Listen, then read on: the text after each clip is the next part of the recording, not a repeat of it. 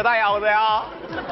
花生瓜子儿烤一片了啊，啤酒饮料矿泉水了啊，脚收一下了啊，荆州云南烤地瓜了啊，铁岭鞍山哈密瓜了啊，朝阳南宁哇哈哈，本溪桂林老干妈，所有土特产买一送一，买一送一了。啊，一折起一折起啊！一折起哎哎哎哎，多少钱啊？哥，给你打一折，啊，四千。打一折四你你疯了？什么玩意儿？个鸡爪这瓜果，你要不你疯了吧你啊？有问题吗？这是什么地方啊，哥哥？啊，这是旅游区啊！旅游区啊，那边来了一群游客，你们去看看去吧。是吗？啊，谢哥，潘帅斗秀场，尖叫加鼓掌，帅！好，冬天走了，于是草就绿了；春天来了，于是阳光就暖了；旅游的季节到来了，于是门票涨价了。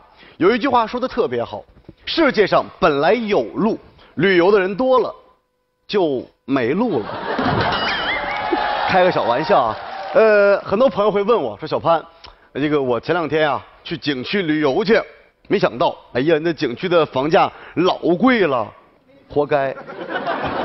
谁让你不自备帐篷呢？”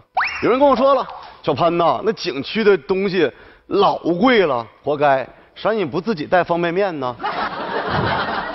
也有人说了，说小潘呐，我在景区我拍照我让人坑了，活该。谁让你不会带自拍神器呢？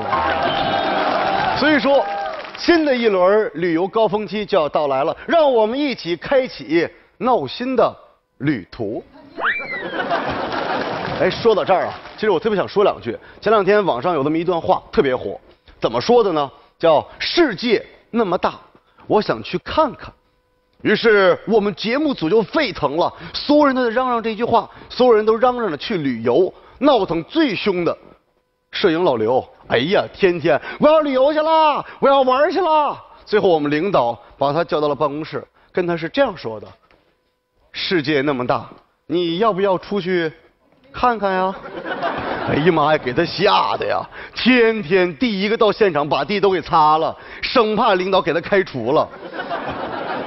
其实我高晓攀啊，跟他就不一样了，我很任性，我就特别想来一段说走就走的旅行。于是我打点了行囊，我买了火车票，准备了旅游指南。当我一上火车，坏了事儿了，我忘带充电器了。